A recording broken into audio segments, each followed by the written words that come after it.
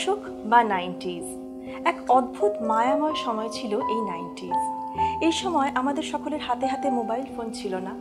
ছিল না ঘরে ঘরে কম্পিউটার। ছিল মোড়ের মাথায় আড্ডা এবং চায়ের আড্ডায় তুফান তোলা তর্ক। সেই তর্কে প্রধানমন্ত্রী থেকে নানা পাটেকর, সকলেই ছিলেন আলোচ্য বিষয়বস্তু। আমাদের পকেট মানির টাকা বাঁচিয়ে আমরা ক্যাসেট কিনতাম। সেই ক্যাসেট বাড়িতে এসে শুনে শুনে প্রায় প্রত্যেকটা গান তার প্রিলিউড ইন্টারলিউড সহ মুখস্থ হয়ে যেত। আর পাড়ার মোড়ের সেই দোকানে গিয়েই আমরা কিনতাম হেড ক্লিনার টেপ রেকর্ডারের হেড ক্লিনার দিয়ে সেই হেডটা পরিষ্কার করে নিতাম। আর যে কাপড়টি দিয়ে পরিষ্কার করতাম, সেটি ছিল বাবার চশমা মোছার কাপড়। এটি আমার একার গল্প নয়। এটি যারা আমরা নব্বইয়ের দশকে বড় হয়েছি, আমাদের যাদের শৈশব কেটেছে, কারও কৈশোর কেটেছে, কারও যৌবন কেটেছে, তাদের সকলের মনের কথা। নব্বইয়ের দশকে আরও একটি গুরুত্বপূর্ণ ঘটনা ঘটে গান বাজনার জগতে। এখানে সেই সময় দু রকমের পরিবর্তন আসে। একটি হলো কিছু গুণী শিল্পী তাদের একক অ্যালবাম, বেসিক অ্যালবাম তৈরি করেন স্বতন্ত্র মৌলিক গান দিয়ে এবং তার সঙ্গে সঙ্গে ঝড়ের মতো এসে পড়ে বাংলা ব্যান্ড। আমরা প্রায় এক নিঃশ্বাসে বলে যেতে পারি কিছু বাংলা ব্যান্ডের নাম, যেমন ধরুন চন্দ্রবিন্দু, ভূমি, ক্যাকটাস, শহর, এরকম আরও আরও সব নাম যাদের গান আমাদের মুগ্ধ করে রাখত। আজ দোয়েলের সঙ্গে আড্ডা দিতে যিনি এসেছেন, তিনি আমার শৈশবের হিরো। তাকে আমি ভীষণ ভালোবাসি এবং আমি জানি আপনারা সকলে তাকে ভীষণভাবে ভালোবাসেন। সেই নয়ের দশক থেকে আজ পর্যন্ত তিনি আমাদের মনে বিরাজ করছেন। আমার ভীষণ ভালোবাসার ভীষণ কাছের মানুষ সুরজিৎ দা সুরজিৎ চ্যাটার্জি একদম প্রত্যেককে নমস্কার আর তোমাকে বলি এত সুন্দর কিছু কথা বললে তুমি এবং আজ শুনতে শুনতে তখন আমাকে তো ক্যামেরায় দাদা দেখাচ্ছিলেন না কিন্তু আমি পাশে বসে বসে আমার নিজের কত কথা মনে পড়ছিল আমার সব থেকে বেশি মনে পড়েছে হেড ক্লিনিং এর কথা বললে তুমি হ্যাঁ। যে ক্যাসেট প্লেয়ারের হেড পরিষ্কার করা ওই আয়রন অক্সাইড না ফেরক্সাইড কি একটা জমতো এক্স্যাক্টলি কেমিক্যাল টার্মটা আমি ভুলে যাচ্ছি। আমরা বলতাম ময়েশ্চার জমে। ময়েশ্চার এক্স্যাক্টলি তো সেইটা আমার মা বলতো তখন ওই স্যান্ডো গেঞ্জি শত সব স্যান্ডো গেঞ্জি নিচটা কেন কালো?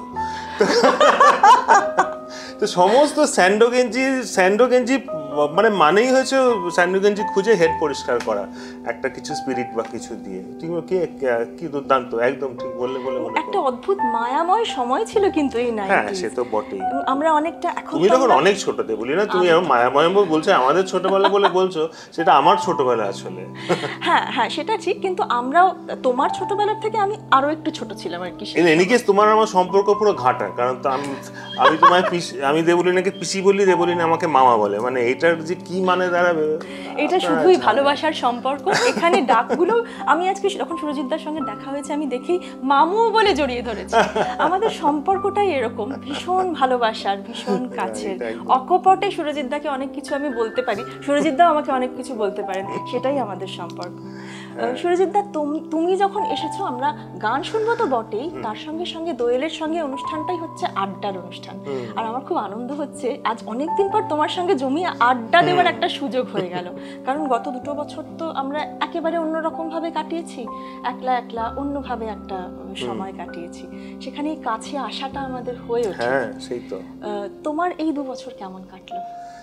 আমার এই দু বছর প্রথম যখন হলো এই লকডাউন হয়ে হঠাৎ করে সমস্ত বন্ধ ইনফ্যাক্ট আমরা উড়ছিলাম রঙ্গবতী ওরকম একটা হিট হলো এবং প্রচুর প্রোগ্রাম আমরা।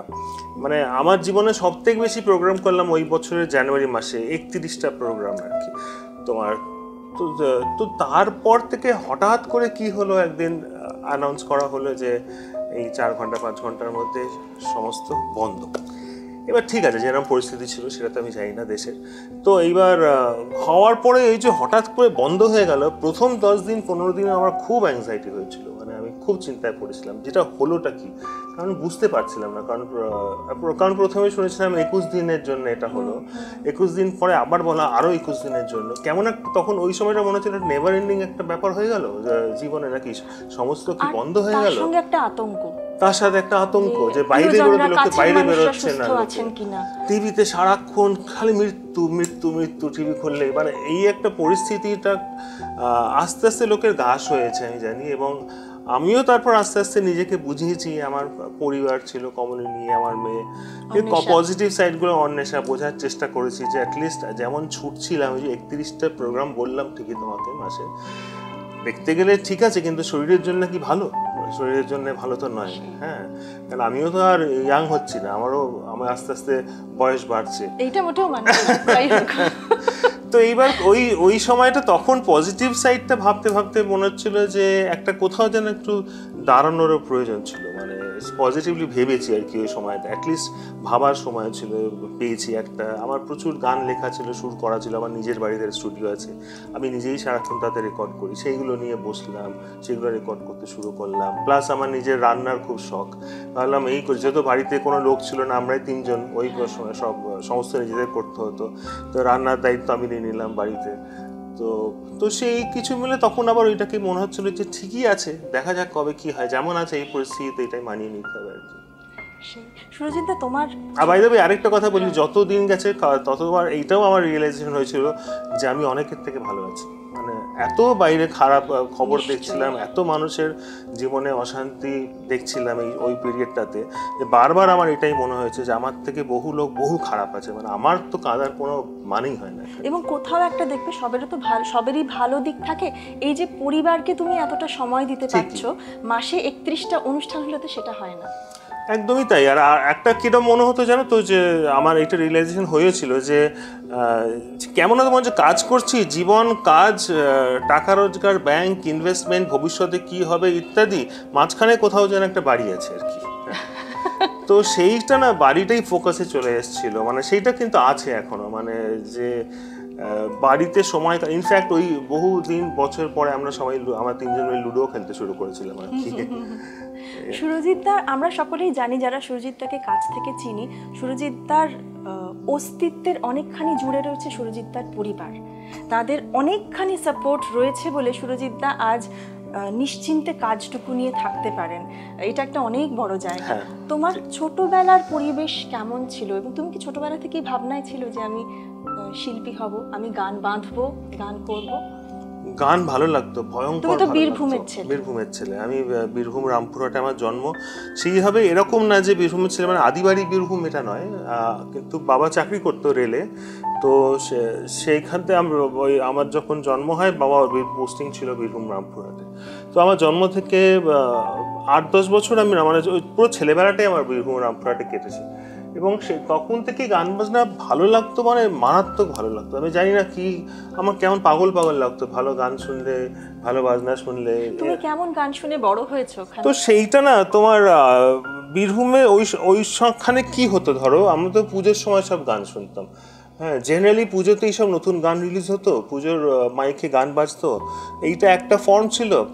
অত বাড়ি বাড়ি রেকর্ড প্লেয়ার ক্যাসেট প্লেয়ার তো ছিলই না হ্যাঁ খুব কম বাড়িতেই রেকর্ড টেকর্ড থাকতো, সেখানে সবাই মাঝে মাঝে গিয়ে ভিড় করতাম রেকর্ড যার যে কটা রেকর্ডে শোনার জন্য। আদারওয়াইজ এই পুজো বা এই উৎসব উৎসবের সময় তোমার এই মাইকে গান বাজতো, তখন এই পুজোর গানগুলো শুনতাম, মান্না দে, হেমন্ত মুখোপাধ্যায় আডি বর্মন, আশা ভোসলে ইত্যাদি, এইসব। তো তখন থেকে আডি বর্মনের গান আমার খুব ভালো লাগতো। মান্নাদের আমি বির- বিভৎস ফ্যান ছিলাম। আর আমার বরাবরই এরকম এরকম কোনো ক্যাম্প ছিল না কারে। মানে আমি যে মান্নাদের ফ্যান মানে হেমন্তর গান শুনছি না যে অনেকে আমাদের থাকে যারা একটু প্রো হেমন্ত প্রো মান্নাদে এরকম ছিল না। আমার সবসময় সবারই গান ভালো লেগেছে। তবে একটুখানি কাঁটাটা মান্নার দিকে দিকে ঝুঁকে ঝুঁকে ঝুঁকে ছিল আর কি। যে ওনার সমস্ত গান খুব ভালো লাগতো। সেইটা শোনা, আর বাকি হচ্ছে তোমার বলেছি যেহেতু বীরভূম রামপুরহাটে থাকতাম, ওখানে বাউলদের বাড়িতে আসা গান গাওয়া, এটা নতুন কিছু ছিল না। আমরা মানে সিনেমা নয়, এটা আমাদের জীবনেরই অঙ্গ ছিল। আমরা প্রায়ই দেখতাম বাড়ির সামনে বাউল আসতেন এবং তারা হয় একতারা বাজিয়ে, নয় খমক বাজিয়ে তারা গান করতেন, এবং কিছু একটা তাদের দেওয়া হতো। টাকা আমি দেওয়ার কথা আমার মনে নেই, সবসময় মনে আছে মা হয়তো কিছু চাল? চাল সবজি। চাল সবজি। ব্যাস মাধুকরি যেটা অ্যাকচুয়াল অর্থে যেটা মাধুকরি বলা হয়। চাল সবজি পটল ঝিঙে যা থাকতো এরকম দিয়ে ওরা ঝুলিতে দিত আবার পাশের বাড়িতে গান করতে চলে যেত। তখন থেকে কি তোমার মধ্যে এই যে লোকসঙ্গীতের প্রতি একটা আলাদা টান এবং ভূমির গান মানে কিন্তু অনেকটা লোকসঙ্গীত ঘেঁষা গান? মানে সেটাই আমরা ছোটবেলা থেকে শুনছি।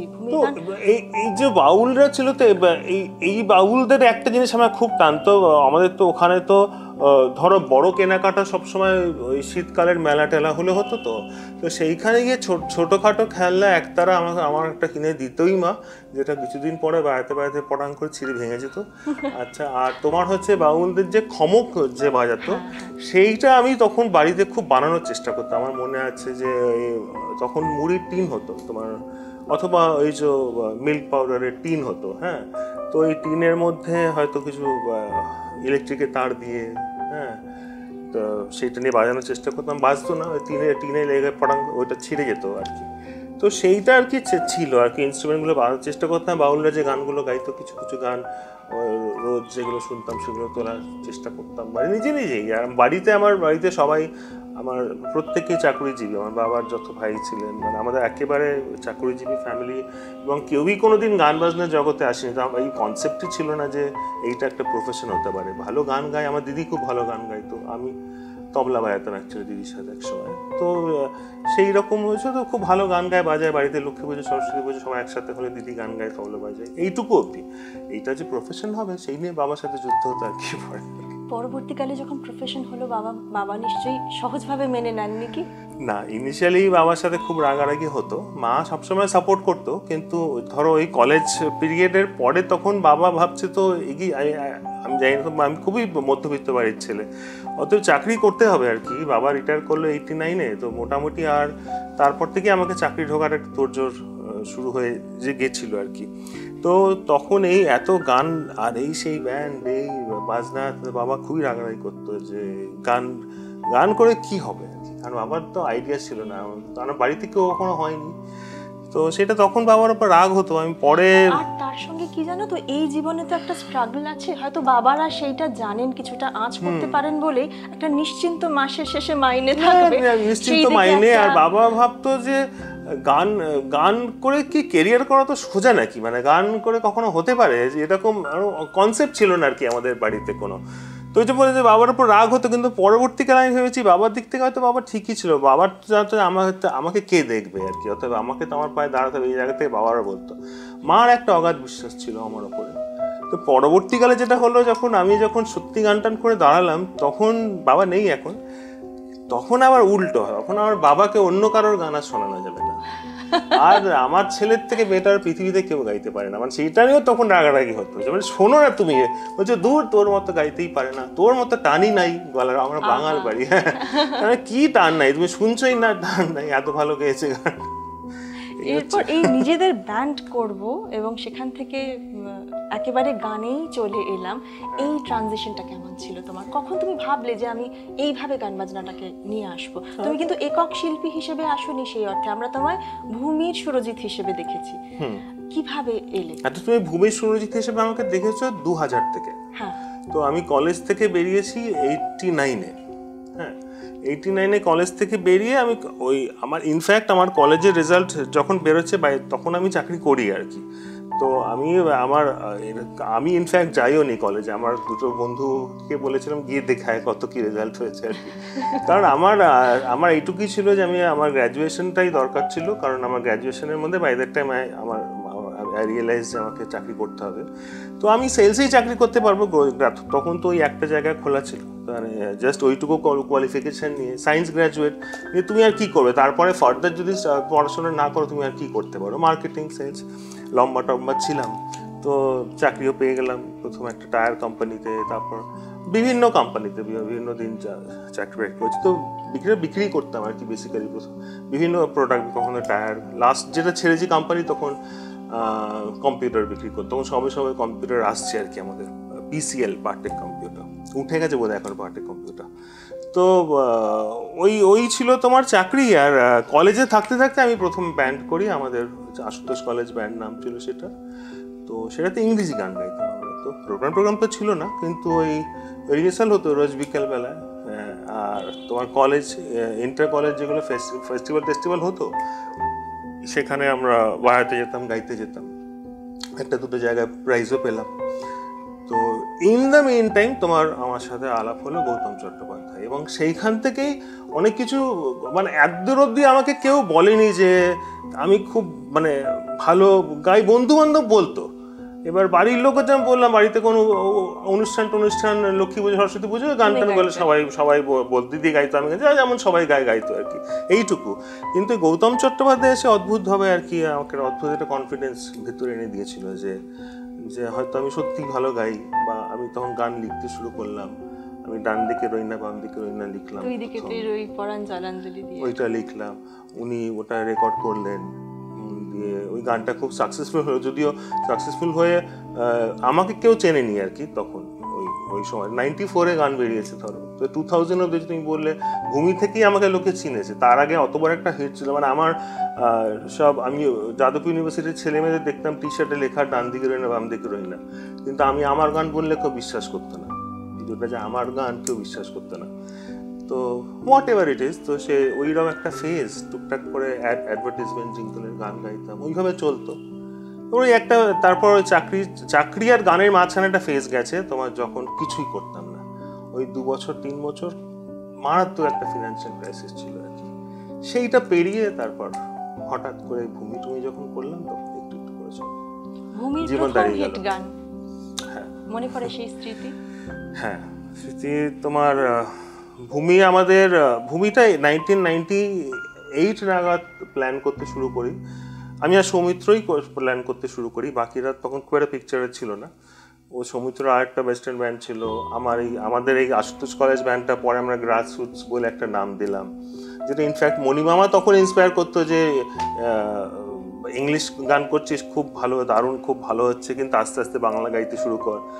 মণিমামার নাম দিয়েছিল ঘাসফুল নাম দিয়ে একটা বাংলা ব্যান্ড কর তোরা কি সুন্দর কি নামটা সুন্দর নামটা কিন্তু হয়নি আমাদের। ঘাসফুল নামে ব্যান্ড আর তখন হয়নি। তখন রকস্টার হব এই স্বপ্নই দেখছি।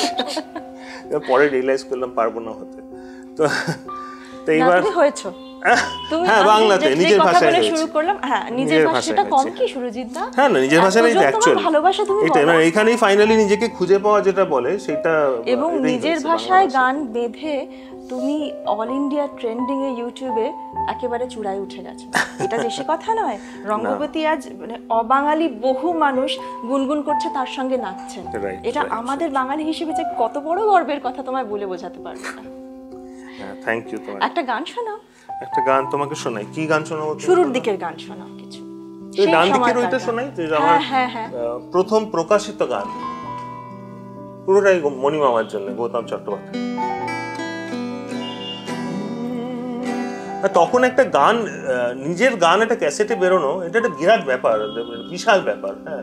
এটা যে সত্যি হলো আমার জীবনে, আমি এটাই ভাবতে পারতাম না যে একটা লোকে ক্যাসেট কিনছে, সেখানে আমার গলায় গাওয়া গান বাজছে। আমি বড় রাস্তায় দাঁড়ায়,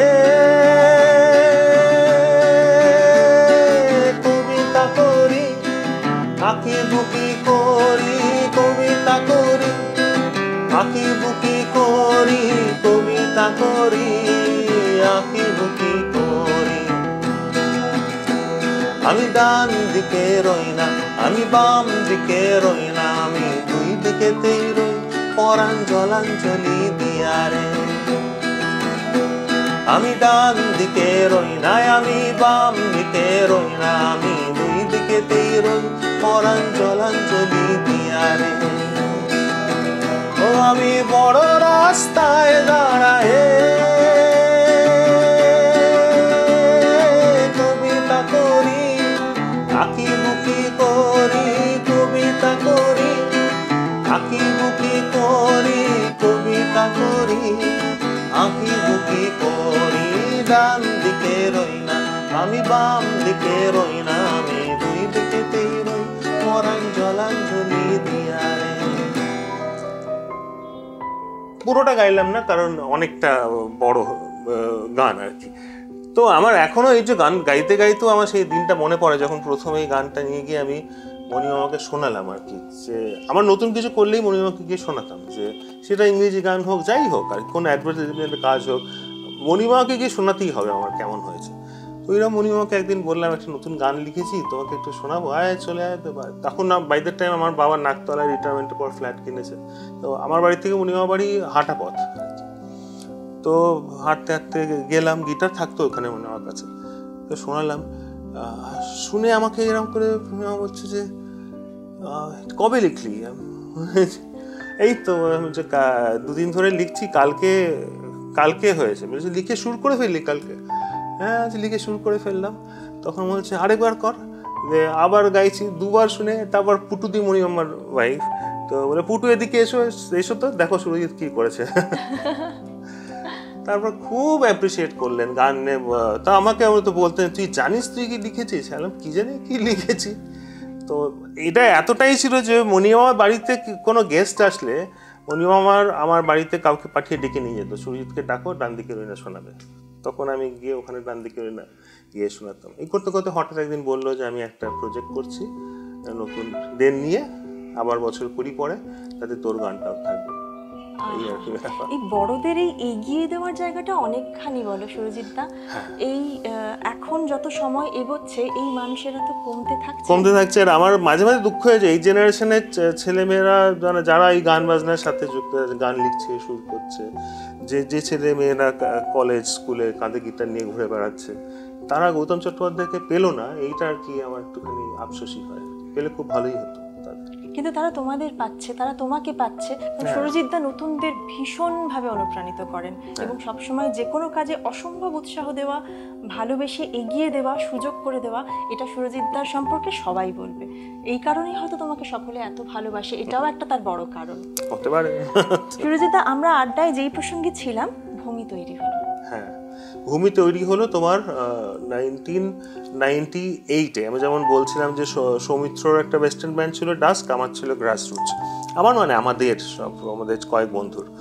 তো এইবার কখনো আমি আমি ওদের রিহার্সালে যেতাম, কখনো সৌমিত্র আমাদের রিহার্সালে আসতো। তো এই করতে করতে একদিন দুজন মিলে আমরা ম্যাক্সমোলা ভবনে তখন আমি খুব আড্ডা মারতাম গিয়ে। ম্যাক্সমোলা ভবন থেকে আমাকে বলেছিল একটা অনুষ্ঠান করতে।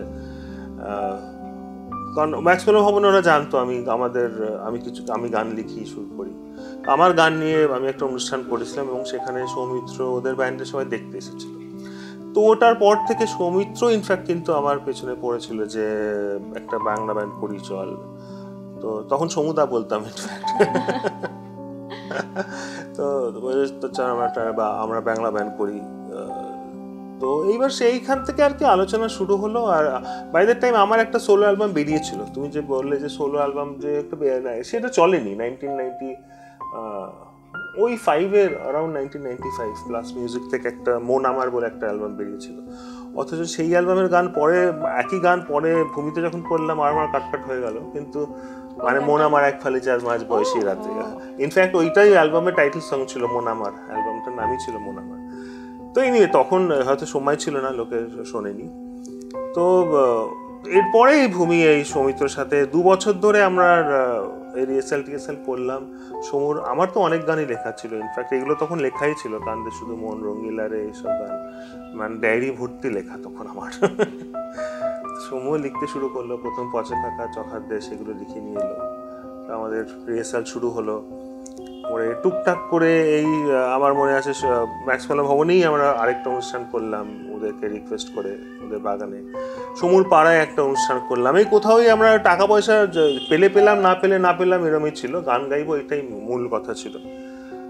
আর দু হাজারে আমাদের অ্যালবাম বেরোলো টাইমস মিউজিক থেকে। আমাদের এক বন্ধু ওখানে চাকরি করতো এবং সে আমাদের ইনফ্যাক্ট বন্ধুকে চিনবে? তোমার পিলুকে চেনো তুমি আশিস বিদ্যার্থীর? হ্যাঁ, হ্যাঁ, পিলু। হ্যাঁ। তো পিলু তখন শকুন্তলা বড়ুয়া রাইট হ্যাঁ। তো পিলু আমার বন্ধু দীর্ঘদিনের তো পিলু তখন ওই টাইমস মিউজিকে চাকরি করতো।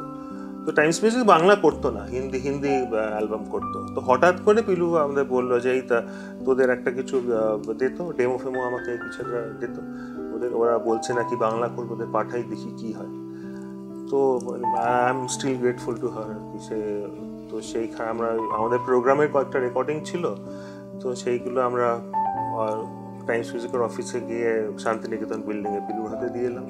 ও পাঠিয়ে তারপর আমাদের একদিন বলল যে ওটা অ্যাপ্রুভ হয়ে গেছে টাইমস মিউজিক তোদের অ্যালবাম করবে। তো টু থাউজেন্ড পুজোয় আমাদের প্রথম অ্যালবাম বেরোলো যাত্রা শুরু। এই যাত্রা শুরুর সবকটা গান সুপার হিট এইটাও একটা দারুণ প্রাপ্তি এইটাও একটা। দারুণ প্রাপ্তি। মানে গান হিট হ্যাঁ দশে দশ। দশে দশ। সত্যি জীবনে আর কোথাও পাইনি যাত্রা শুরু ওই একটা অ্যালবাম যেখানে দশে দশ যাত্রা শুরু থেকে একটা গান শোনা হ্যাঁ যাত্রা শুরু থেকে তোমাকে শোনাচ্ছি।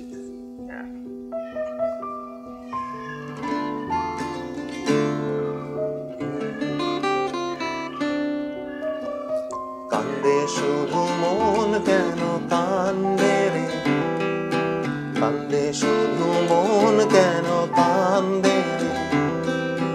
সোনালি রূপলি আলো নদীর বুকে বাসা খোঁজে রে। যখন সোনালি রূপলি আলো নদীর বুকে বাসা খোঁজে রে। দক্ষিণা বাতাসের তোরে, হয় রিডিং আর পালো রে। রে ঢেউয়ের তালে নাচে ডিঙ্গা, ঝিলমিল নদীর তুলে আসি। রে কান্দে তবু মন কেন কান্দে রে? কান্দে তবু মন কেন কান্দে রে? যখন সোনালি রূপলি আলো নদীর বুকে বাসা খোঁজে রে, মানুষের স্বপন মনে ধরা বৈঠা যেন, তোমরা মুছড়ায় যায় সব বন্ধুরে। কান্দে, শুধু মন কেন কান্দে রে? কান্দে, শুধু মন কেন কান্দে রে? যখন সোনালি রূপলি আলো নদীর বুকে বাসা খোঁজে রে। যখন সোনালি রূপলি আলো নদীর বুকে বাসা ভীষণ মন কেমন হয়ে যায়? গানটা শুনলে অসাধারণ অসাধারণ। সুরজিৎ দা একটা এমন একটা সময়ে তুমি এসেছ আমাদের জীবনে যে সময়টা বিশেষ করে নাইনটিজে যারা বড় হয়েছে তাদের কথা বলছিলাম সেই সময়ে তাদের অ্যাডোলেসেন্স চলছে। সেই সময় তারা নতুন করে একটা অনেকখানি পরিবর্তন দেখছে সমাজে। কারণ আমাদের একদম শৈশবটা ছিল একরকম। কিন্তু তারপরেই আমরা দেখলাম হঠাৎ করে মোবাইল ফোন চলে এলো। হঠাৎ করে ল্যাপটপ চলে এলো। জীবন যাত্রাটা পুরোপুরি এই যে আমাদের গান কেমন বদলে globalization গেল। হলো গান বদলে গেল। হ্যাঁ। এই গ্লোবালাইজেশনের পর থেকে কিন্তু গান বদলে গেল। সেই গানের এই পরিবর্তনটার সঙ্গে তোমরা অ্যাডাপ্ট করলে কি করে? হুম। আমি তো আমি অ্যাডাপ্ট করি কারণ আমি সারাক্ষণ অ্যাডাপ্ট করতে চাই সেটা অন্য কথা। কিন্তু তো আমরা যখন ধরো শুরু করলাম যাত্রা শুরু প্রথম ক্যাসেট বেরিয়েছিল তখনও সিডি মানে একটা খুব বড় লোকের ব্যাপার ছিল। মানে পাঁচশো টাকা দাম সাড়ে পাঁচশো টাকা দাম একটা সিডি সিডি প্লেয়ার থাকতো না? থাকতো থাকলেও মানে বলছি না মানে সিডি প্লেয়ারের দাম প্রচুর ছিল তখন যারা। তো এইবার ক্যাসেট থেকে পরে আমার মনে হচ্ছে যে যাত্রা শুরু সিডি বেরোলো ক্যাসেটের অনেক পরে। যখন এই সিডিটা তাও আর একটু সড়গড় হয়েছে তো তখন সিডি বেরোলো এবং তারপর আস্তে আস্তে তো কোথায় দেখো আস্তে আস্তে ক্যাসেট সিঁড়ি কোথায় হাওয়ায় উড়ে গেল। এখন সবই কোথায় আছে ভগবান জানে আর কি কিন্তু আমরা ওই একটা ক্লিক করলে পেয়ে যাই সব কিছু সব গান। সেটা এইটার সাথে অ্যাডজাস্ট করে নেওয়া ইজ ফাইন সব ঠিক আছে কিন্তু কোথাও না কোথাও আমার মনে হয় যে কোয়ালিটি কম্প্রোমাইজ হয়ে গেছে। মানে আজকে একটা ঠিকঠাক প্রপার সিস্টেমে একটা গান শোনা আর ইউটিউবে মোবাইলে একটা গান বাজছে শুনছি। এই দুটোর মধ্যে পার্থক্য আছে। আমরা কোয়ালিটি কম্প্রোমাইজ করে দিয়েছি প্রচুর আর কি। আমরা অভ্যস্ত হয়ে গেছি আর কি এইরকম ভাবে গান শুনতে। আরেকটা জিনিস কি হয়েছে জানো? এটা আমি আগে স্বপ্ন দেখতাম যে এই sound system Uranus sound system হবে এই কাঠের স্পিকার হবে। তো আমার জীবনের স্বপ্ন হতো যে এরা এই সাউন্ড সিস্টেম থাকবে এইভাবে গান শুনব। কিন্তু ওইটা আর এখন নেই কিছুভাবে একটা চললেই হলো গান। না আরেকটা কি হয়েছে জানো? আমি জানি না তুমি আমার সঙ্গে সহমত হবে কিনা। ছোটবেলা না আমরা খুব অল্পে সন্তুষ্ট ছিলাম কারণ আমাদের খুব বেশি ছিল না কিছু। কিন্তু যত আমাদের হাতে জিনিস বাড়তে থাকল কোট অ্যান্ড কোট কন্টেন্ট বাড়তে থাকল ইউটিউবে এখন আমি সব পাচ্ছি। তখন না মুড়ি- মিছরি কোথাও একটা এক হয়ে গেল। ওই যে একটা হাতে মহার্ঘ জিনিস এসেছে সারা মাসের হাত খরচ বাঁচিয়ে রিক্সা না চড়ে হেঁটে হেঁটে গিয়ে সেই টাকা দিয়ে একটা ক্যাসেট কেনা? তুমি আমাদের ধরো ইংরেজি ক্যাসেট কেনা তো তখন ওগুলো দাম হতো চল্লিশ টাকা পঁয়তাল্লিশ টাকা করে। আমাদের ফেসবুক সিটে গিয়ে কিনতে হতো। স্পেসিফিক কিছু দোকান ছিল। এখন এর সাথে নাম মনে জানি না এখন বেঁচে আছে কিনা। আমরা যার কাছে যেতাম আর কি। খুব খুব রেয়ার সব ক্যাসেট ট্যাসেট ওর কাছে পাওয়া যেত। তো এইবার ওই আমরা টাকা জমাতাম চল্লিশ টাকা পঁয়তাল্লিশ টাকা জমলে ছুটতাম ফেসবুক স্ট্রিটে গিয়ে সেখান থেকে একটা মনের যে জানতাম এই ক্যাসেটটা কিনবো এই এই ব্যান্ডের একটা ক্যাসেট কিনবো। এবার তুমি ভাবো এই যে যে এত কাণ্ড করে যে ক্যাসেটটা কিনে আনা হলো সেটা কত শোনা হতো তুমি বলো? ফিতে জড়িয়ে যেত পেন্সিল দিয়ে তত সেই গান আমরা পুঙ্খানুপুঙ্খ ভাবে শুনতাম হ্যাঁ। তাই না? তো এখন কোথায়? একটা গান একটা গানই লোকে ধৈর্য ধরে পুরোটা শুনতে পারে না। মাঝখানে শুনে স্কিপ করে দেয় পরের গানে সুরজিৎ দা এই আমরা একটা সময়ের কথা বলছিলাম। যে সময়টা ভূমি হুড়মুড় করে এসে পড়ল তার একরাশ মন ভালো করা গান নিয়ে। কিন্তু একটা হয়তো এখন কষ্ট পাওয়ার মতো ঘটনা সেটা হলো এই যে বাংলা ব্যান্ড প্রত্যেকটা বাংলা ব্যান্ড একের থেকে এক ভালো গান নিয়ে এলো একটা সময়, একেবারে উন্মাদের মতো মানুষ তার পেছন পেছন ছুটতো সেই গানগুলো শুনবে বলে। অনুষ্ঠান হাউসফুল। সমস্ত কলেজের ফেস্টে ছাত্রছাত্রীরা মুখিয়ে থাকতো, কবে ভূমি আসবে, কবে চন্দ্রবিন্দু আসবে, কবে লক্ষ্মীছাড়া আসবে। এই সময়টা কোথাও একটা যেন হারিয়ে গেল পরবর্তীকালে। এখন আমরা সেভাবে ব্যান্ডের গান শুনতে পাই না। কেন বলো তো, এটা কি অডিয়েন্স পাল্টে গেল? নাকি ব্যান্ড আর সেই ধরনের গান তৈরি করতে পারছে না? কি হলো? সমস্যাটা কি হলো? তুমি কি মনে করো? মানে একেবারে মানে ম্যাথমেটিক্যালি ডিডিউস করতে পারব না যে এক্স্যাক্টলি এই সমস্যাটা হয়েছে। কিন্তু দুটো দুটো দিক আছে। একটা হচ্ছে যে দেখো এখন ব্যান্ডদের কিন্তু আচ্ছা আগে অন্য দিকটা বলি। একটা একটা দিক হচ্ছে যে, নতুন ভাবনা নিয়ে ব্যান্ড আমি শুনতে পাচ্ছি না। মানে যেটা লোককে হঠাৎ করে ভাবাতে শুরু করে দেবে মানে আপামর জনতাকে। মানে ব্যান্ডটা শুধুমাত্র কলেজ স্টুডেন্ট স্পেসিফিক ব্যান্ড হয়ে গেছে অনেক ক্ষেত্রেই আর কি যেটা ভূমি ভেঙে দিয়েছিল চন্দ্রবিন্দু ভূমি। কারণ তুমি যদি দেখো একটা ওই সময় তো এই দুটো ব্যান্ড নিয়ে ম্যাক্সিমাম আলোচনা হতো ভূমি আর চন্দ্রবিন্দু তাই না? দুজনের দুটো আলাদা ফ্যান বেস ছিল দুজনেই পপুলার হ্যাঁ? দুজনের মিউজিক কিন্তু একদম আলাদা। হ্যাঁ। আর কোনোদিনই কাউকে কিন্তু কারোর মিউজিক ইমিটেট করতে হয়নি। চন্দ্রবিন্দুকে ভূমির মতো করতে হয়নি, ভূমিকেও চন্দ্রবিন্দুর মতো করতে হয়নি। তো আমরা কিন্তু দুটোই অ্যাকসেপ্টেড ছিল।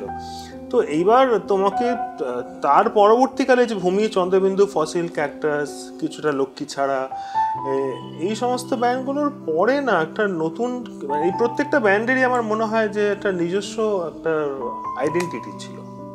তার ভাবনায় বলো, তার সাউন্ডস্কেপে বলো তার প্রেজেন্টেশন অন স্টেজ প্রেজেন্টেশন এই সমস্ত কিছুতে প্রত্যেক কিন্তু তারপর থেকে নতুন কিছু মানে হ্যাফেজেটলি একটা দুটো ব্যান্ড এসেছে যাদের দুটো গান সাকসেসফুল হয়েছে একটা গান সাকসেসফুল হয়েছে।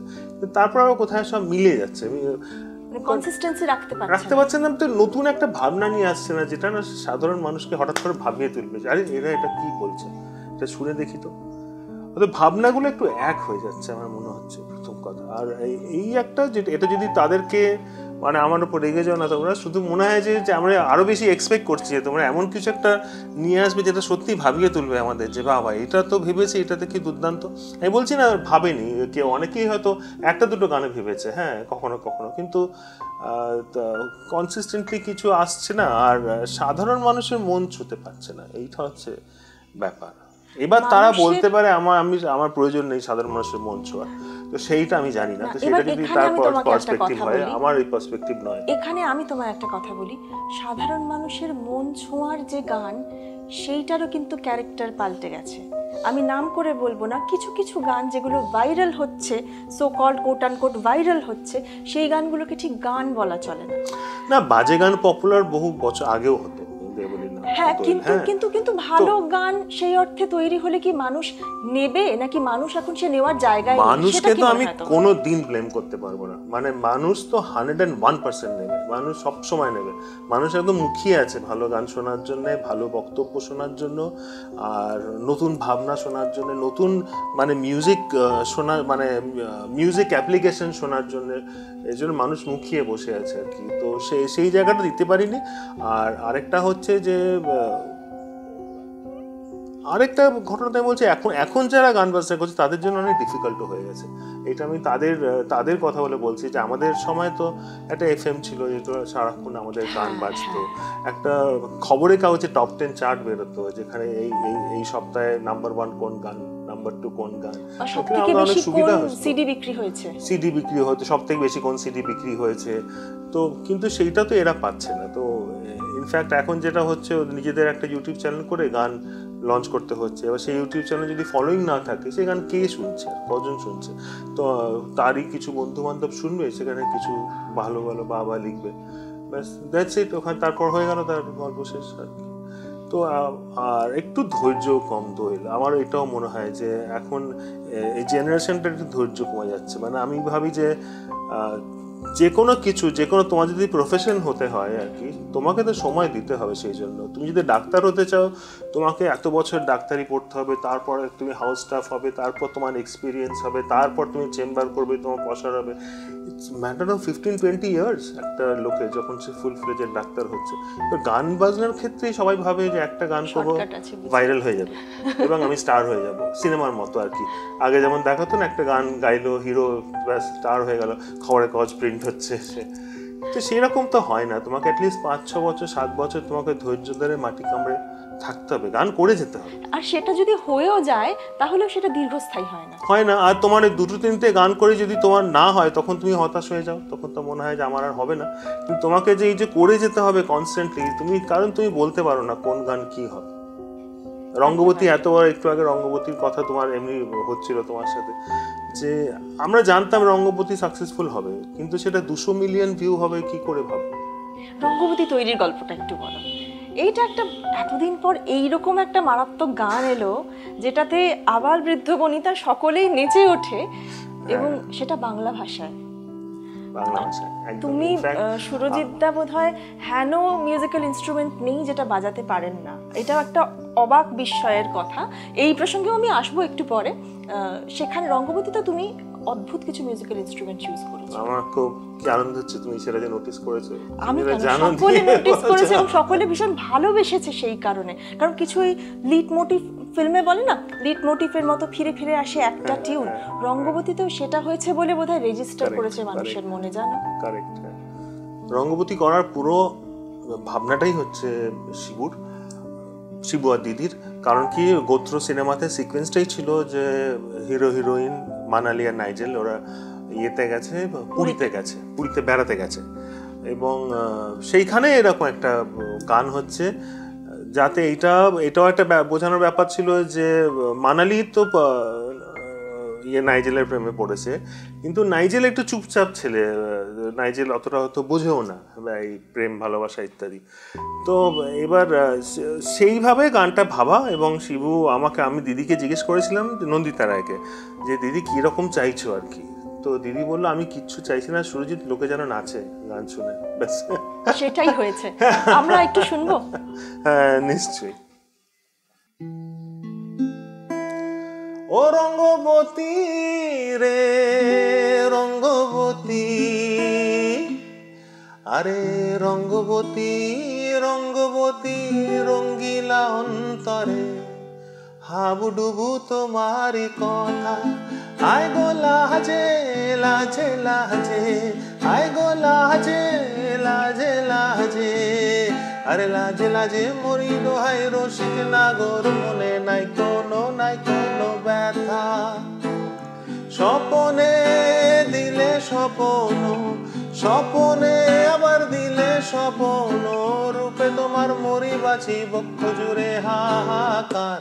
রঙ্গবতী রঙ্গবতী, ও রঙ্গবতী রে রঙ্গবতী রঙ্গবতী রে রঙ্গবতী। এটা বসে বসে শোনা খুব কঠিন এই গানটা। আমি জানি যারা আজ শুনছেন ইউটিউবে সবাই ভোরবেলা পাঁচটার সময় উঠে লেখা। কারণ এক তো এই শ্যুটটার উপরে লিখতে হবে তারপর প্রচুর কথা গানটার মধ্যে হ্যাঁ। তো সেই হিসেবে একদিন ভোরবেলা আমি যেহেতু ভোরবেলা উঠি ঘুম থেকে ভোর পাঁচটা সাড়ে পাঁচটা ছটা মাথা বেশি কাজ করে। তো নিয়ে বসলাম দিয়ে টুকটুক করে লিখে ফেললাম। দিয়ে শিবুকে পাঠিয়ে দিলাম। ও তো হইই করল শুনে কি মারাত্মক হয়েছে তুমি একটা অদ্ভুত ইনস্ট্রুমেন্ট হুলুসি বলে বোধহয়। রাইট থ্যাংক ইউ ওই ইনস্ট্রুমেন্টটা তুমি শুরুতে দিয়েছ যেটা হ্যাঁ। ওই ইনস্ট্রুমেন্টটা কানে আসা মানেই আমরা রঙ্গবতী শুনব। এক্স্যাক্টলি আর তোমার আমার ভাবনাটাই ছিল যে মিউজিকটা মানে একটা ছোট্ট একটুখানি মিউজিক থাকা থাকবে, যেটাকে শুধু ধরিয়ে দেবো গানটাকে, ব্যাস। এর মধ্যে দেখবে মাঝখানেও মিউজিক কোথাও বড় নেই, ওই মিউজিকটাই একবার মাঝখানে আছে। তো সেরকমই ভেবেছিলাম যে এর বেশি মিউজিক না, গানটা সঙ্গে সঙ্গে গানটা শুরু হয়ে যাবে। আর এই হুলুসিটা তোমাকে বলি হুলুসি হচ্ছে জাপানিজ ইনস্ট্রুমেন্ট একটা। তো আমি ওই ওই তার ঠিক কয়েক মাস আগেই ক্যানাডা গেছিলাম, তখন ওখান থেকে নিয়ে এসেছিলাম হুলুসি। এবার নিয়ে এসে ওইটা ওরমভাবে পড়েছিল, তো বাড়িতে যে কি- করব জানতাম না। তো তো তারপরে যখন গানটা আমি বাড়িতে ট্র্যাকটা বাড়িতে বসে বানিয়েছি, তো বাড়িতে বসে বানাচ্ছিলাম তখন মনে হলো ওইটা বার করে একবার দেখি তো কী হয় হ্যাঁ। এখন অবধি ব্যবহার করিনি। বার করে ওটা এইটা বাজে নিজে বাজিয়ে ফেললাম, তারারা তারারা, তারা, তারারা। আর তখনই মনে হলো যে একদম এইটাই একদম ঠিক আছে, এর বেশি আর আমার কিচ্ছু দরকার নেই। ইনফ্যাক্ট ওই হুলুসিটা যেটা যেটা রেকর্ডে বাজে যেটা গানে বাজে, এখনও রেকর্ড বলে অভ্যেস আছে আর কি। তো সেইটা একটা খুব সস্তার একটা মাইক্রোফোনে গাইড হিসেবে আমি বানিয়ে নিয়ে গেছিলাম যে স্টুডিও গিয়ে দামি মাইক্রোফোনে গিয়ে আবার বাজাবো। কিন্তু দামি মাইক্রোফোনে টেক করে দেখলাম যে ওই ব্যাপারটা তৈরি হচ্ছে না। তো আমার পাঁচশো টাকার মাইক্রোফোনে টেক করা হুলুসিটাই অ্যাকচুয়ালি বাজে, যেটা শুনে লোকে এত নাচে আর কি। তো এক লাখ টাকার মাইক্রোফোনে হুলুসিটা আমার শুনতে লাগছিল না। সুরজিৎদা এমনিও আপনারা হয়তো যখন গান শোনেন সুরজিৎদার তখন বুঝতে পারবেন যে গানগুলো সুরজিৎদা তৈরি করেন, প্রত্যেকটা গানের চলন খুব সহজ হয়। খুব একদম মন ভালো করে দেওয়া, যে গানগুলো করতে খুব কষ্ট হয় না, সহজভাবে সেই গানগুলো কিন্তু তোমার সঙ্গে সঙ্গে আমরা গাইতে পারি। এইভাবে তুমি গান তৈরি করো। তার মধ্যে কিছু গান ভীষণভাবে পপুলার হয়, কিন্তু কিছু ভীষণ ভালো গান তেমন পপুলার হয় না। এটা কেন গো সুরজিৎদা মানে যেমন আমি বলছি, তোমার অবসন্ন বলে একটা গান আমি শুনে মনে হয় বারবার শুনি, শুনতেই থাকি সারাদিন এমন একটা গান। কিন্তু এই গানটা তোমায় তেমনভাবে গাইতে শুনি না। হ্যাঁ কারণ এক তো হচ্ছে দেখো আমাদের আমাকে অ্যাটলিস্ট লোকে যখন মঞ্চে অনুষ্ঠান করতে নিয়ে যায় তখন মূলত লোকে আনন্দই করতে চায়। লোকে তো সেইখানে আমার যদি সিরিয়াস গান কিছু থাকে, আমি শুরুর দিকেই একটা দুটো কিছু গাইতে পারি। অথবা এখন ভ্রমর এত সাকসেসফুল হওয়ার পরে ভ্রমর গায় শুনতে চায় লোকে মানে যেখানে যে কোনো পজিশনেই হোক লোকে শুনতে চায়। কিন্তু মূলত লোকে আনন্দ করতে চায়। লোকে নাচতে চায়, হাসতে চায়, বুঝতে পারে, দুলতে চায়। সেইটা আমি দিতেও চাই, আমার ভালোই লাগে তাই সেটা। আর আমার এখন আজকে এক, এই সময় এসে মনে হয় যে গান তো হিট হলো। অনেক, এত গান যে জীবনে হিট হবে, আমি কোনোদিন কল্পনা করিনি। তো এবং তারপরে মনে হয় যে সব গানে হিট হতে হবে তার কোনো মানে নেই আমার এটাও মনে হয়। আমার নিজের মনের মতো গান করি। কিন্তু যে তুমি বললে তোমার ভালো লাগে অবসন্ন। একটু শোনাবে? আমি শুনে একটু গাছে উঠে পড়লাম। একটু শোনাও। এরকম দুমদাম করে অনেকে এসে বলে আপনার ওই গানটা আমি হয়তো ভাবছি এই গানটা কেউ শুনলো না এত কষ্ট করে বানালাম। কিন্তু আমার দেখি শুনেও লোকে অনেকে এসে বলে এবার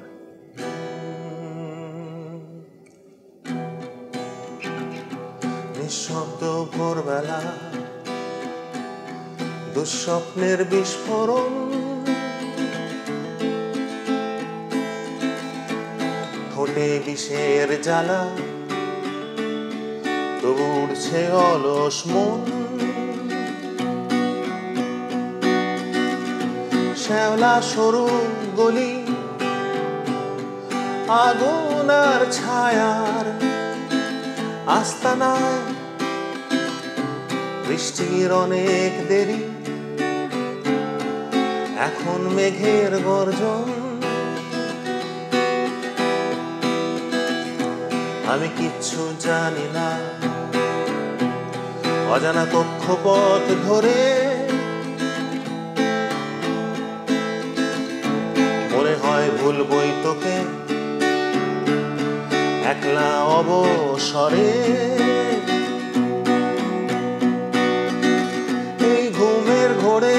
চলা ঘুম ভাঙলেই সবাই চেয়ে নিষ্পলক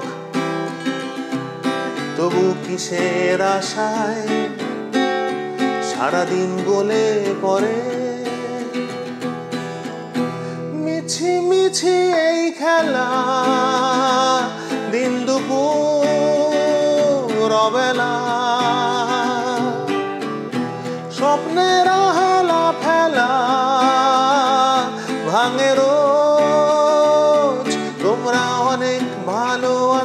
বারবার মরে, আবার বাঁচো আমি গভীর জলে। এ কিসের খোঁজ? পাখির ছানার সাথে বৃষ্টির জল ভিজে। ঝড় আসবে মনে হয়, ক্লান্ত অন্ধকার নিজে। ভাঙছে মেঘের হৃদয়, যাচ্ছে সব নিরাপদ আস্তানায়। আমি এইখানেই থাকি, শরীর অবসন্ন যে। সুরজিৎ মানে কিন্তু শুধুই ফাগুনেরও মোহনায় নয়, সুরজিৎ মানে এই রকম অমূল্য রতন, যে গানগুলো আমরা হয়তো অনেকগুলো আমাদের ভীষণ পছন্দের গানের মধ্যে হারিয়ে ফেলি। আমি চাইব আমাদের দর্শক বন্ধুরা আমাদের অনুষ্ঠানটা শুনে একবার অরিজিনাল গানটাও তোমার কাছ থেকে শুনুন যেটা তুমি আসলে রেকর্ড করেছ। অদ্ভুত গানের কথা এবং পাখির ছানা বৃষ্টির জলে ভিজছে না। পাখির ছানার সঙ্গে আমিও ভিজছি। অদ্ভুত একটা গান সুরজিৎ দা তুমি যে কি করে তৈরি করেছ মেঘ ডাকে না মেঘেদের হৃদয় ভাঙে সেটা। হ্যাঁ, হ্যাঁ, হ্যাঁ। ভীষণ ভীষণ পোয়েটিক ভীষণ লিরিক্যাল একটা অদ্ভুত গান ভীষণ সুন্দর। এই গানটার পরে আমার ঠিক কথা জোগাচ্ছে না আমি কি কথা বলব? অসম্ভব সুন্দর। সুরজিৎ দা আমাকে নিয়ে একটা গান লিখেছে আপনারা জানেন? হ্যাঁ নিশ্চয়ই। একটু শোনাবে নাকি? একদম। আমি পিসিকে গাছে তুলে দিয়েছি একদম। সে উঠতে উঠতে গাছে উঠে গেছে। দাঁড়ো দোয়েলে দোলে পাতার ফাঁকে শিউলি গাছে কোকিল ডাকে। দোলে দোলে পাতার ফাঁকে শিউলি গাছে কোকিল ডাকে। তবু কেন রাগ দেখালি দিব আমি গলায় ফাঁসি? চল সখী মন মানাতে টই টই করে ঘুরে আসি। ঘুরে আসি ঘুরে আসি ঘুরে আসি ঘুরে আসি। দোয়েলে দোলে পাতার ফাঁকে শিউলি গাছে কোকিল ডাকে। আহা হা হা দারুণ দারুণ দারুণ দারুণ দোয়েলটা তুমি ছিলে কোকিল কে ছিল তুমি এবার বলো সবাইকে দেখি। আমার একটু ভাবতে হবে। কোকিল হয়তো আমার মামু ছিল হ্যাঁ হতে পারে? সুরজিৎ দা এই যে তুমি গানগুলো তৈরি করছ তুমি বলছিলে তুমি ভোরবেলা উঠে কাজ করো।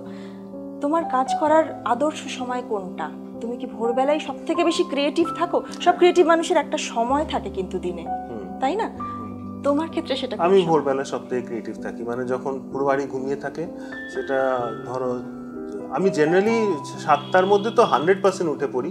আর যদি কখনো কাজ থাকে, আমি ছটা তো মাথায় চিন্তা থাকে, এই কাজটা করতে হবে। অনেক সময় আরও ভোরের ছটার সময় এমনিতেই উঠে পড়ি।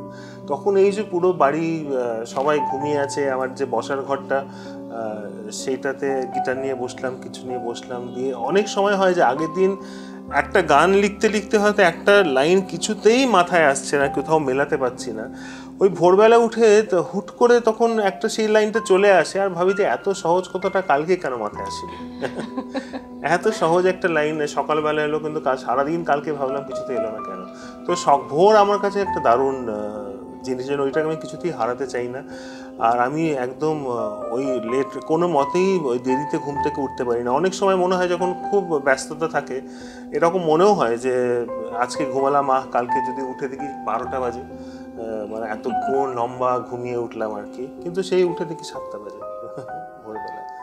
তো ভোরবেলাটা আমি খুব এনজয় করি কাজে থাকি। বাকি দিনটা হচ্ছে তোমার ওই আমার নিজের বাড়ির স্টুডিওতে বসে হয়তো সেই গান তৈরি করা বানানো সেটা খেপে খেপে হয়। হয়তো কিছুটা হলো আবার রেস্ট নিলাম আবার একটুখানি দুপুরবেলা টিভি টিভি দেখলাম। দুপুরে ঘুমাই না আমি আমার ঘুম খুব কম। এই নিয়ে বাড়িতে সবাই খুব কমপ্লেন করে আমি ঘুমাই না। দিয়ে তারপরে আবার সন্ধ্যাবেলা বসলাম। এইরকম হবে আর কি। সারাদিন জুড়েই চলে। আচ্ছা একটা কথা বলতে বলতে আমরা অন্য প্রসঙ্গে চলে গিয়েছিলাম সেটা হলো তুমি কটা ইনস্ট্রুমেন্ট বাজাতে পারো বলো তো? অনেকই বাজাতে পারি দোয়েল। মানে আমার এটা তুমি প্যাশন বলতে পারো যে ইনফ্যাক্ট এটা ভূমি থেকেই শুরু হয়েছে সেই অর্থে যে- ভূমির যখন আমাদের প্রথম অ্যালবাম করলাম তখন আমার মনে হতো যে সব ব্যান্ডেই guitar keyboard guitar keyboard drum ইত্যাদি বাজে। তা আমাদের মধ্যে আমরা যদি আমার একটা বাঁশি ছিল তাতে আমি একটা দুটো নোট বাজাতে পারতাম। টুকটাক কিছু বাজাতে পারতাম। তো সেইটা দিয়ে হলো যে তাহলে আমরা যদি বাঁশি বাজাই অন্যরকম লাগবে শুধু আর কোনো ব্যান্ডে বাঁশি নেই তবলা তো তুমি ছোটবেলা থেকেই বাজাতে। তবলা তো ছোট থেকে বাজাতাম এখন আর বলা উচিত না কারণ আমার হাত একদম নষ্ট হয়ে গেছে। তো তো সেই সেই তো তখন বাঁশি বা ওই বাঁশি তখন প্র্যাকটিস করতে শুরু করলাম। তারপর দেখলাম যে একটা মোটামুটি বাঁশি বাজাচ্ছে, তাতেই লোকে বলছে, তুমি এত ভালো বাঁশি বাজাও, এটা তো অন্যায় হচ্ছে, এবার সত্যি সত্যি সিরিয়াসলি শিখতে হবে। না তো আমি ধরা পড়ে যাব আর কি, যে আমি যে খুব একটা ভালো বাজাই না। এই করতে করতে আমি বাঁশি আমার এক বন্ধুর কাছে একটু শিখতে শুরু করলাম, আর বইপত্র পড়তে শুরু করলাম। বাসি হলো, তারপর প্রত্যেকটা ভূমির অ্যালবামে মনে হতো নতুন একটা ইনস্ট্রুমেন্ট বাজাবো। এটা জেদ হয়ে গেছিল। পরের অ্যালবামে তোমার ম্যান্ডোলিন কিনলাম। ম্যান্ডোলিন ওরম তাকিও না ম্যান্ডোলিন বাজালাম টানা টানা টাং, ওই প্রথম ওই ম্যান্ডোলিন বাজানো আমার। তারপরে টুকটুক করে যখন আমরা বিদেশ যেতে শুরু করলাম, তখন বিদেশে যাওয়া মানেই কোনো না কোনো ইনস্ট্রুমেন্ট নিয়ে আসতাম। এখনও আমি যদি কালকে যদি শুনি আমি বিদেশ যাচ্ছি কোনো কাজে, এখন থেকেই আমি রিসার্চ করতে শুরু করি যে আমি কি কিনবো, কোন ইনস্ট্রুমেন্ট কেন যেটা আমার সামর্থ্যের মধ্যে, কি কিনবো। এখন তো বন্ধু বান্ধব হয়ে গেছে, তাদেরকে লিঙ্ক পাঠাই, তারা কিনে রেখে দেয়, গিয়ে নিয়ে আসি। তো এই হচ্ছে ব্যাপার আর তো অ্যাকোডিয়ান বাজাই তো সেগুলো সব কিছু স্টেজে বাজাই না স্টেজে মূলত নানা রকমের বাঁশি বাজাই গিটার বাজাই ম্যান্ডোলিন বাজাই। এই আর কি কত নিয়ে আর স্টেজে উঠবো। আর একটা একটা পয়েন্টের পরে মনে হয় যে গানই তো গাইছি না সার্কাস করছি যে এত আমি কি বাজাতে পারি সারাক্ষণ দেখে আমরা খুব সত্যি অবাক বিস্ময়ে তাকিয়ে থাকি যে কি করে একটা মানুষ এত রকমের ইনস্ট্রুমেন্ট বাজাতে পারে এবং প্রত্যেকটাই এত সুন্দর করে এত নিখুঁতভাবে। দারুণ সুন্দর। সুরজিৎ দা তোমার ভবিষ্যতে কি কাজ আসতে চলেছে? ভবিষ্যতে একটা মহানগর থেকে দূরে বলে একটা ফিল্ম আছে তার তার মিউজিক আসছে যেটাতে আমি গান গেয়েছি তারপর প্রস্মিতা একটা গান গেয়েছে ইমন একটা গান গেয়েছে। তো এইটা আসছে তোমার ওই রানু মণ্ডলের ওপর একটা বায়োপিক আসছে যাতে প্রথম হিন্দি গান করলাম বা হিন্দি সিনেমাটা। আচ্ছা। তো কলকাতায় যদিও সব রেকর্ডিং হয়েছে তো একটা গান আমি গেয়েছি সেই অর্থে আমার প্রথম হিন্দি প্লেব্যাক আর আরেকটা গান শ্রীরাধা বন্দ্যোপাধ্যায় গিয়েছে আমার খুব প্রিয় শিল্পী শ্রীরাধা দি আমার। সব সময় মনে হয় যে এর আগেও শ্রীরাধা দির সাথে কাজ করেছি আর এই- এইটা তো আবার আবার মনে হয় যে শ্রীরাধা দি বারবার মনে হয় যে আমরা হয়তো আমার শ্রীরাধা দিকে ঠিক মতো ব্যবহার করতে আমরা ব্যর্থ হয়েছি আমার মনে হয় যে অত ভালো একজন। শিল্পীকে আমরা হাতের কাছে পেয়েও তো আর তারপর তোমার আরেকটি ঋতুর সাথে একটা সিনেমার মিউজিকের এখন সব ওটা ডিসকাশন স্টেজে আছে। হবে কবে হবে শুরু হয়নি। এইগুলো সিনেমার কাজ প্লাস প্রচুর বিজ্ঞাপনের কাজ হয় তোমার কর্পোরেট কাজ হচ্ছে। কাজ করছি আমার খুব আমি খুব ভালোই আছি কাজের মধ্যেই আছি। তুমি এই আরও অনেক অনেক কাজের মধ্যে থাকো তাহলে তুমি এরকমই চির সবুজ থাকতে পারবে। সেই কুড়ি বছর আগে তোমায় যেমন দেখেছিলাম তুমি এখনও কুড়ি বছর পরে একই রকম আছো বাইরে এবং ভেতরে। পুরোটা বিশ্বাস করলাম না ঠিক আছে। এটা সত্যি কথা। এটা যারা দেখছেন তারাও আমার সঙ্গে সহমত হবেন এবং আমি জানি প্রত্যেকে আমাদের সেই কথা জানাবেন। আচ্ছা সুরজিৎ দা একেবারে শেষে এসে গেছি আমরা অনুষ্ঠানের। শেষে তোমার কাছে একটা কথা জানতে চাইব। তুমি হ্যাঁ। সারা পৃথিবীর বিভিন্ন দেশ ঘুরেছো অনুষ্ঠান করার করার জন্য। বহু মানুষ দেখেছ। এমন কোনো অভিজ্ঞতা আজ আমাদের সঙ্গে ভাগ করে নেবে যেটা তোমার জীবনের মোড় ঘুরিয়ে দিয়েছিল বা এমন ভাবে তোমার মনে আচর কেটে গেছিল যেটা তোমার আজও মনে পড়ে? জীবনের মোড় তো আমাকে ঘুরিয়ে দিয়েছে অনেক কিছুই যে আমি শোনো আমি আমি মাঝরাত্রি এরকম স্বপ্ন দেখে উঠতাম যে আমি বিরাট একটা মঞ্চে গান করছি। প্রচুর লোক হাততালি দিচ্ছে আমার জন্য ঘুম থেকে উঠতে, উঠে দেখতাম যে না, আমি শুয়ে আছি মানে এটা সত্যি নয়। তো এইগুলো যে সব সত্যি হয়েছে, আমি আমি কল্পনা করতে পারি। আমি পেয়েছি প্রচুর মানে আমার মনে হয় যে আমার অডিয়েন্সের কাছ থেকে এত গান করার সুযোগ সিনেমার মিউজিক নাটকের মিউজিক বিজ্ঞাপনের মিউজিক এত অনেক কিছু পেয়েছি, পাচ্ছি এখনও দেবনি না আমার অ্যাবসোলুটলি কোনো আক্ষেপ নেই আমার জীবন নিয়ে। এত গান, তোমায় একটু আগে বললাম যে এত গান হিট হবে আমি ভাবিনি। মানুষের জীবনে একটা গান, দুটো গান, তিনটে গান হিট হলেও মনে হয় অনেক। বছর তারপরেও যে এই এই সময় এসে হঠাৎ করে রঙ্গবতী এত বড় হিট হবে আমি এত ভাবিনি আর কি জীবনে পাবো। এবং আরেকটা জিনিস জানো আমি হ্যাঁ। তুমি হয়তো জানো এটা তোমার বাচ্চারা খুব ভালোবাসে। বাচ্চারা খুব ভালোবাসে। দোয়েল আমি যে বাচ্চাদের কাছে কি ঋণী বাচ্চারা কেন যে আমাকে এত ভালোবাসে আমি বুঝতে পারি না আর কি। মানে আমার আমি বুঝতে পারছি আর কিছু বছর পরে আমার নাতনি নাতি নাতনির কোনো অভাব হবে হবে না। অভাব হবে না। ইনফ্যাক্ট এখন যেমন হয়ে গেছে যেই বাচ্চারা ধরো আমার গান শুনে খেত তারা তো হয় তারা এখন স্কুলে পড়ে না কলেজে পড়ে। এবার তারা কলেজে পড়ার পর তারা কলেজে এবার আমাকে নিয়ে যায় আমার গান শুনতে চায় সুরজিৎদার গান শুনে আমার মা আমাকে খাওয়াতো। আমি একটা কথা বলি ডক্টর দেবাশিস বিশ্বাস উনি খুব নাম করা পিডিয়াট্রিশিয়ান এখন বিদেশ চলে গেছেন। তো এখানে একটি খুব বড় নার্সিং হোমে উনি হেড ছিলেন cardiac cardiac paediatric cardiology paediatric cardiology হ্যাঁ ওইটাই এক্স্যাক্ট টার্মটা আর কি। যে বাচ্চাদের একেবারে শিশুদের যাদের হার্টে কোনো সমস্যা হয় সেটা সেটার ডাক্তার ছিলেন। আছেন এখনও বিদেশে আছেন। তো উনি না আমাকে মাঝে মাঝে ফোন করতেন। ফোন করে বলতেন যে সুরজিৎ একটুখানি একটা কাজ করো তো একটু তোমার বারান্দার দুধটা গাও অথবা কোনোদিন আমাকে বলতেন তোমার একটু মধুর মধুর চাউনিটা গাও দিয়ে ফোন করার পরে, আমি জিজ্ঞেস করতাম যে, কেন? আমি গাইতাম হ্যাঁ ফোনে তো বলতে যে, কেন বললাম জানো? বলছে, আমার এখানে একটি বাচ্চা এসছে, এত মাস বয়স, একটু সমস্যা নিয়ে এসছে। তো ওর বাড়ির লোক বলছে, ও শুধু বারান্দার ওদের শুনলে হাসে। তো তুমি, ওর কানে, তুমি বিশ্বাস করতে পারবে না, তোমার কানে আমার ফোনটা দিয়েছি, তুমি গাইছিলে ফিক ফিক করে হাসছি আর কি চাই বলো তো দেবুলি? আর কিচ্ছু চাই না গো। যে কোনো অ্যাওয়ার্ডের থেকে এটা অনেক বড় পাওয়া। কি অ্যাওয়ার্ড দিয়ে কি হবে কে জানে? আচ্ছা। সুরজিৎ দা আমরা একেবারে শেষে এসে গেছি। তোমার গান তো শুনবোই একটা গান দিয়ে শেষ করব। তুমি খুব ভালো থেকো। তুমি হ্যাঁ। এরকমই মানুষের মনে যেন তুমি সবসময় এভাবেই বিরাজ করো। এইটাই প্রার্থনা করব। তুমি তোমার শরীর সুস্থ থাকুক তোমার মন এইরকমই চিরসবুজ থাকুক। শরীর শিশু থাকবে আমি শরীর নিয়ে খুব কনসিয়াস একেবারে। ভোরবেলা যা ওঠো তুমি তোমার শরীর সুস্থ এমনি থাকবে। ভোরবেলা উঠে আমি হাঁটতে যাই। হাঁটতে হেঁটে তারপর বাড়িতে আসি। তারপর আমি নিজের কফি বানাই নিজে খাই এবং কাজ করি। আরে বাস। আমরা দর্শক বন্ধুদের একটুখানি বলে দিই।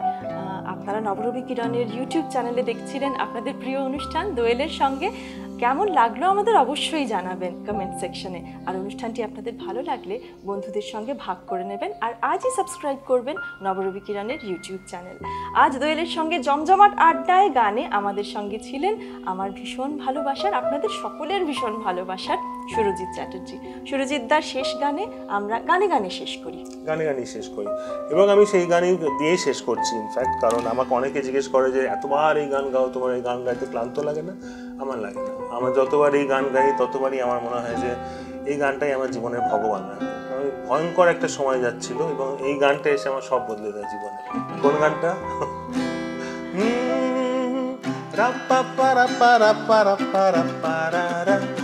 রাপ্পাপারাপ্পারাপ্পারাপ্পারাপ্পারারা, রাপ্পাপারারাপ্পারাপ্পা, বারান্দায় রোদ্দুর আমি আরামকে দাঁড়ায় বসে দুপানা চাই রে গরম চাই।